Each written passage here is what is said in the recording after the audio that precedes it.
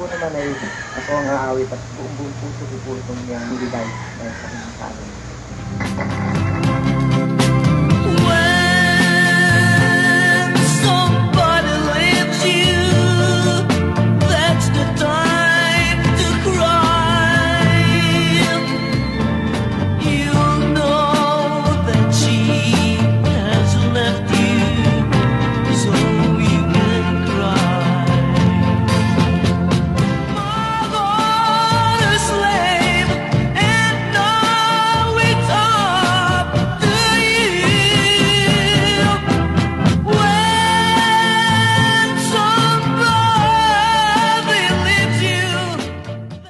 Naaalala nyo ba ang tinatawag na original jukebox king sa showbiz? Siya ay si Eddie Peregrina. Si Eddie ay isang tanyag na mga awit na nagsimulang sumikat sa kalagitnaan ng dekada 60 hanggang dekada 70. Siya rin ay lumabas sa ilang mga pelikula, kasama ang mga sikat na artista, at mga awit ng panahong iyon. Ilan sa kanyang mga tanyag na awitin ay ang What Am I Living For, Together Again, Two Lovely Flowers, at Mardi. Alamin natin ang naging buhay at pagpanaw ni Eddie sa video na ito. Bago tayo magpatuloy, kung ikaw ay bago sa channel na ito, at gusto mo ang mga kwento ng buhay ng mga Pilipinong sikat, ay huwag kalimutan mag-subscribe. Pindutin mo na rin ang bell para updated ka sa mga susunod pang videos. Salamat!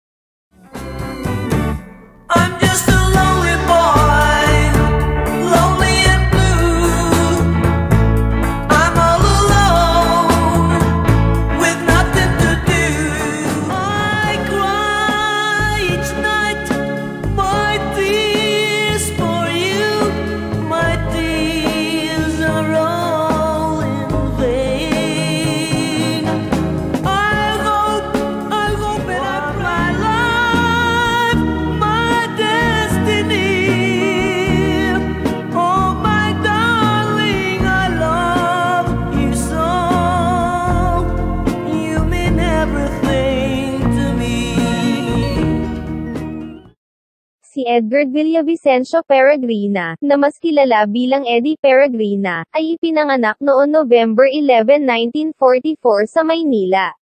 Ang kanyang ama ay si Octavio Peregrina, at ang kanyang ina ay si Nena Villavicencio, na taga Cebu. Sa kanyang kabataan, si Eddie ay maagang kinakitaan ng hilig sa pag-awit, at siya ay madalas sumasali sa mga amateur singing contest noon.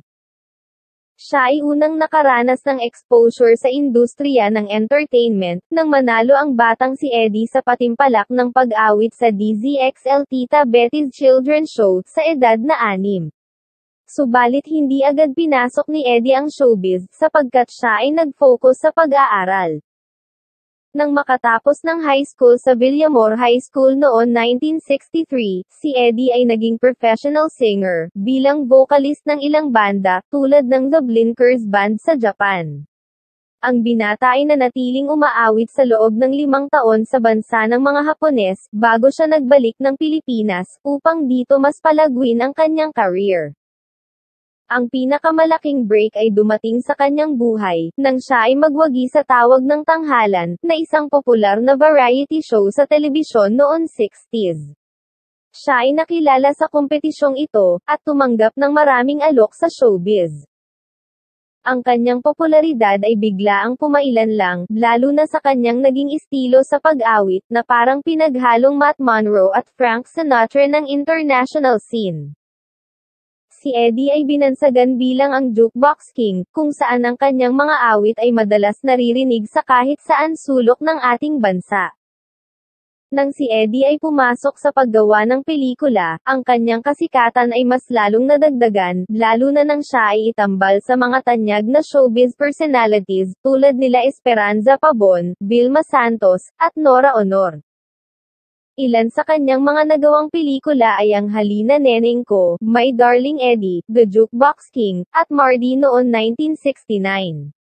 Songs and Lovers, Memories of Our Dream, Edong, Your Love, at Mother Song noon 1970. Luha sa bawat awit, Alaala ng Pag-ibig, at Make Laugh Not War noon 1971. Young Cowboys noon 1972, at marami pang iba. Maliban sa pelikula at pagiging recording artist, siya ay lumabas din sa mga programa sa telebisyon, at nagkaroon ng sariling show kasama si Nora, sa The Eddie Nora Show. Pag siya ay hindi busy sa mga showbiz engagement, si Eddie ay nagmamanage ng kanyang negosyong Ed Viper Records, at The Perville Photo Studio. Siya rin ay nakatanggap ng pagkilala sa kanyang husay at talento sa pag-awit nang si Eddie ay itinanghal bilang Male Recording Artist of the Year ng Awit Awards noon 1969. Nang sumunod na taon, siya ay muling pinarangalan bilang Best Male Singer ng Awit Awards, na nagpatunay ng kanyang husay sa pagiging mga awit. Ilan pa sa kanyang mga pinasikat na awitin ay ang Don't Ever Leave Me Poppy Love, The Voice of Love, Return to Me, In My Little Room, The Wonder of You, Lonely Boy, at marami pang iba. Sa kanyang mas personal na buhay, sinasabing si Eddie ay muntik nang makarelasyon ng singer-actress na si Esperanza Pabon, subalit nang lumabas ang balita na si Eddie ay kasal sa aktres na si Lynn Salazar, ang namumuong relasyon ay nauwi sa mabuting pagkakaibigan.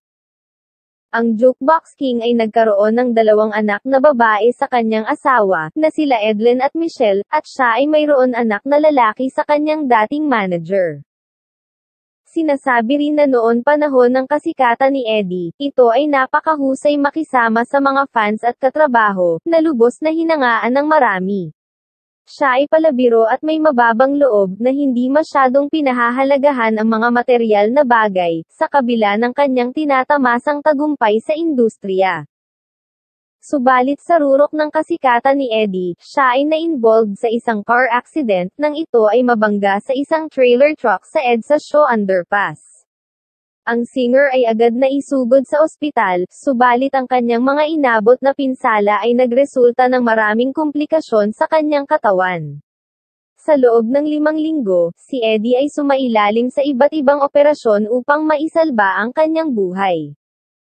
Subalit noon April 30, 1977, ay hindi na kinaya ng katawan ni Eddie ang pinsalang inabot, at siya ay pumanaw sa edad na 32. Ayon sa kanyang mga doktor, kung ang singer ay hindi binawian ang buhay, siya ay habang panahon magiging parang isang gulay, na hindi na rin makakakilos ng normal at makakapagsalita man lamang. Marami ang nagluksa sa kanyang maagang pagpanaw, lalo na ang kanyang mga tagahanga, kaibigan, mga nakatrabaho, at ang kanyang pamilya. Naiwan niya ang maliliit pang anak kay Lynn, na hindi man lang nakilala ng mga ito ang kanilang ama habang nagkakaisip. Ang kanyang asawang si Lynn, ay patuloy na nanirahan sa tahanan ipinagawa ni Eddie, sa Better Living Bikutan noon, at ang kanyang mga anak ay minsan din sa kanilang buhay na naging mga awit. Hindi man nagtagal ang buhay ni Eddie, ang kanyang naiwang legacy, ay habang buhay mananatili sa puso ng kanyang mga naging tagahanga noon.